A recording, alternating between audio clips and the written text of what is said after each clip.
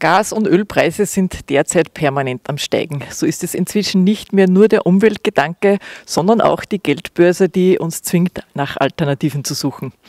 Jürgen Hutsteiner aus Steyr, du hast schon vor vielen Jahren umgestellt auf erneuerbare Energien. Wie hat alles begonnen? Äh, ich habe circa vor 20 Jahren meinen Bauernhof übernommen und auch schon meine Eltern haben immer schon darauf geschaut, dass wir eigentlich möglichst äh, sparsam sein und das war einfach die Tech, also war einfach die Zugang, alles möglichst selbst zu produzieren, was irgendwie geht. Das ist eben das äh, Futter für meine Hühner. Für unsere Hühner haben wir selber äh, immer schon gemacht. Dann haben wir auch die Heizung, war schon immer eine Holzheizung, schon ewig eine Hackschnitzelheizung. Also sind wir 100 Jahre heizungstechnisch schon, oder eigentlich seit immer klimaneutral. Äh, und dann ist einfach mein Gedanke gekommen mit PV. Also ich habe ich hab auch über andere äh, Formen des Stromerzeugens nachgedacht. Da war auch Biogas ein Thema für mich.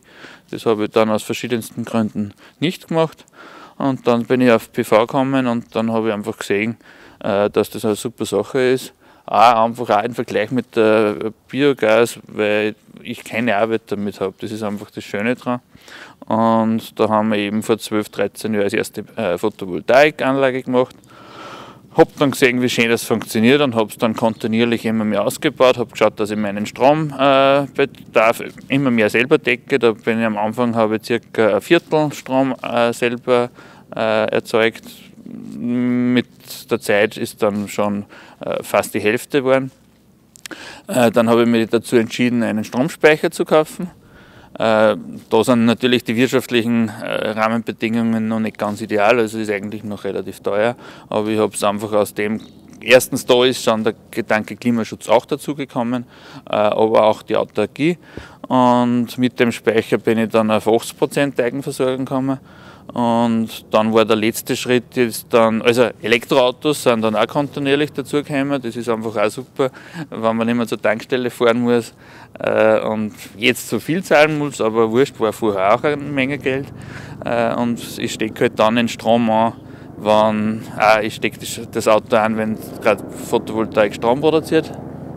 Aus welchen einzelnen Komponenten besteht das Gesamtkonzept? Ähm, angefangen also mit Photovoltaikanlage, die einfach wirklich leise und sauber den Strom produziert. Äh, weiter dann mit den Elektroautos, die was kontinuierlich dazukommen sind, mit denen, wo ich auch liefer, meine Eier ausliefere. Äh, wo ich auch den Strom aus dieser Photovoltaik verwende.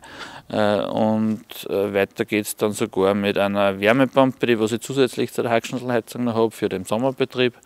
Äh, also wirklich einfach wirklich geschaut, dass ich möglichst keine fossile Energie brauche. Die einzige, einzige fossile Energie, was ich noch brauche, ist eigentlich für die Traktoren. Da ist die Technik noch nicht so weit und da warte ich schon noch drauf. Bin ich zwar gerne bei, bei den Pioniere dabei, aber im Augenblick ist da noch nicht wirklich äh, was marktreif dafür. Als du begonnen hast umzustellen vor vielen Jahren, hat man dich da als Freak bezeichnet? Äh, bezeichnet direkt vielleicht nicht, aber wahrscheinlich schon sich das eine oder andere gedacht und äh, vor allem, also die, damals bei den kleinen Anlagen vielleicht noch nicht, aber äh, dann, wie dann die, die Elektroautos gekommen sind und die wirklich große Anlage, die was ich letztes Jahr dann gemacht habe, da hat vielleicht der andere oder andere schon gesagt, dass ich vielleicht ein kleiner Spinner bin. Äh, wobei sich das heuer sehr, das Blatt sehr schnell auch zu meiner Verwunderung gewendet hat. Also ich habe mir diese Anlage damals kalkuliert und habe mir es relativ schön rechnen müssen, dass sie sich relativ hoffentlich die nächsten 20 Jahre also abzahlt.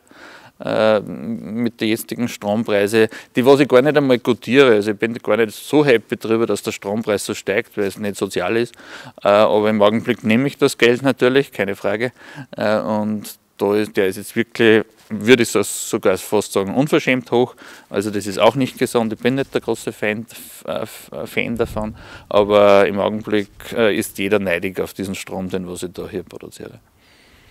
Du hast ja über die Jahre sehr viel Erfahrung gesammelt, was erneuerbare Energien anbelangt. Was würdest du heute damit anders machen als damals?